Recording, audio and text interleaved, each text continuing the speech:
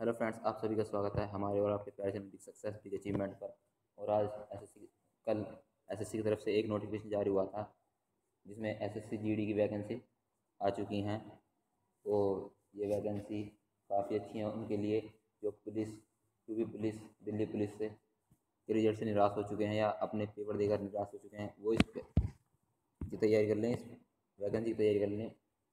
निश्चित तौर से सिलेक्शन हो जाएगा।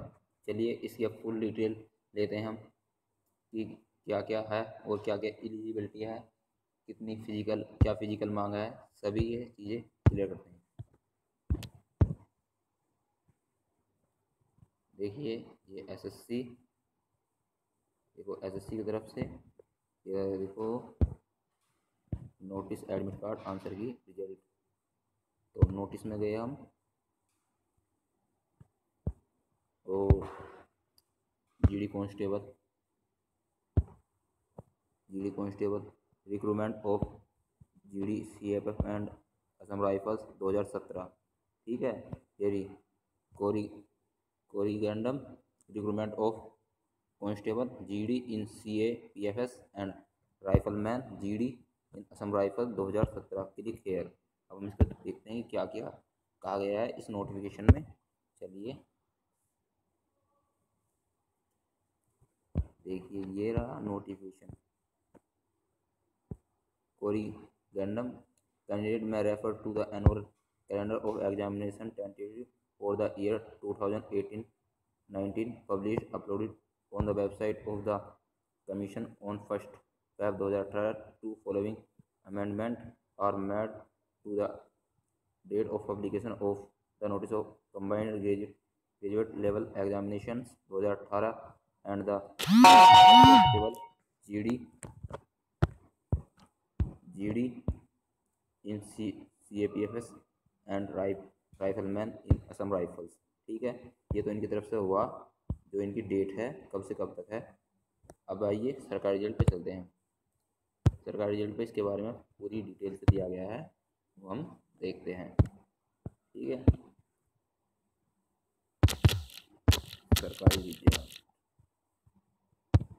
का रिज़ल्ट पे हम गए और देखिए ये ही वैकेंसी अब देखिए SSC GD constable online form ठीक है, इस पर ओके करा हमने। अब इसकी एप्लीकेशन भी यानी फॉर्म भरने की, कल से फॉर्म कल से भरे जाएँगे इसके। इक्कीस से और लास्ट डेट है बीस यानी एक महीने तक इसके फॉर्म भरे जाएँगे।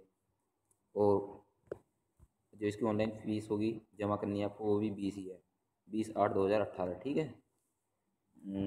जनरल हम्म, ओबीसी के लिए सौ रुपये हैं एस सी के लिए फ्री है ऑल कैटेगरी फीमेल के लिए फ्री है। वैकेंसी की बात कर लेते हैं।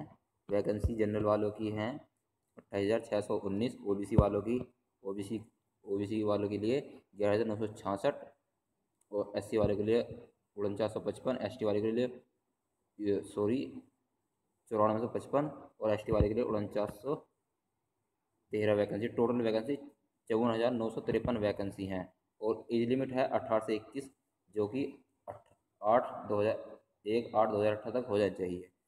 एलिजिबिलिटी इसमें टेन प्लस टू यानी ट्वेल्थ मांगी है इंटरमीडिएट पास और देखिए ये रहा फिजिकलिटी फ़िज़िकल एलिजिबिलिटी टेंटेटिव यानी कि फ़िज़िकल गड़बड़ी भी सकता है। अब हम फ़िज़िकल की बात कर लेते हैं। हाइट जनरल वालों की मांगी है एक सत्तर चेस्ट अस्सी से अस्सी, इक्यासी, बिना फ्राई पिचासी फुलाकर रेस सोलह सौ मीटर मांगी है छः मिनट में। लॉन्ग जंप चौदह फीट हाई जंप तीन फीट नौ इंच और अब आ जाते हैं एस टी ये सभी S general O B C S T सभी के लिए थी। और मेल एस टी आ जाते हैं। ये देखिए हाइट एक सौ पैंसठ सेंटीमीटर चेस्ट बिना फ्लाई छः, छिहत्तर सेंटीमीटर और फुलाकर अस्सी सेंटीमीटर। रेस छः मिनट में लॉन्ग जंप चौदह फीट और हाई जंप तीन फीट नौ इंच फीमेल के लिए एक सत्तावन हाइट चाहिए। चेस्ट इसके लिए कोई नहीं दिया अभी।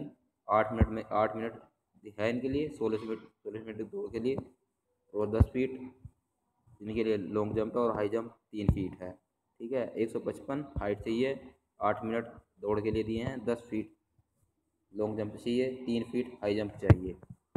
अब देख लेते हैं बीएसएफ ने तेईस सौ इक्यावन पद निकाले हैं एससी के लिए, तेरह सौ इकतालीस पद निकाले हैं एसटी के लिए ओबीसी के लिए, बत्तीस सौ सड़सठ और जनरल वाले के लिए तिहत्तर सौ सतहत्तर फॉर्म निकाले हैं। टोटल वैकेंसी चौदह हज़ार चार सौ छत्तीस वैकेंसी हैं बीएसएफ में। अब सीआईएसएफ में आ जाते हैं। ये तो चौदह हज़ार चार सौ छत्तीस वैकेंसी तो मेल्स के लिए फिर फीमेल्स के लिए पैंतालीस, पच्चीस सौ अड़तालीस हैं। ठीक है?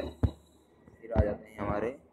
सीआईएसएफ में टोटल वैकेंसी एक सौ अस्सी मेल के लिए और बीस फीमेल के लिए? सीआरपीएफ में मेल के लिए उन्नीस हज़ार नौ सौ बहत्तर और पंद्रह सौ चौरानवे फीमेल के लिए। एसएसबी में सीमा सुरक्षा बल छः हज़ार पाँच सौ इक्कीस और दो हज़ार पच्चीस फीमेल के लिए छः हज़ार पाँच सौ इक्कीस मेल के लिए। आईटीबीपी में भी निकली है Indian Tibetan border police Indo Tibetan border police इस तरीके से सभी के वैकेंसी हैं और इसकी काफ़ी ज़्यादा वैकेंसी हैं। मास्टर स्ट्रोक समझो से तो। इसमें तो काम हो ही जाएगा जो बच्चे। दिल्ली पुलिस और पुलिस के एग्ज़ाम से बाहर हो गए थे। वो इस एग्ज़ाम में थोड़ी मेहनत कर लें। उनका नंबर हो ही जाएगा। ओके ऑल द बेस्ट इसी आशा के साथ विदा लेते हैं कि आप हमारे चैनल को सब्सक्राइब करेंगे, कमेंट करेंगे, हमें बताएँगे उससे जो गलती हो रही है उसके बारे में और जो आपको अच्छा लगा उसके बारे में। प्लीज़ कमेंट ज़रूर करना।